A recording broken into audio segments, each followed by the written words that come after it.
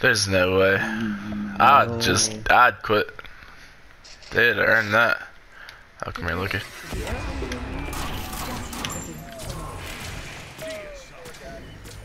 Yeah.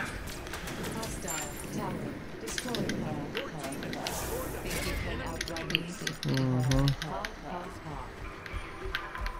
Oh boy. That was just ruthless and unnecessary. I almost killed He Bo. Did you see that? I killed him!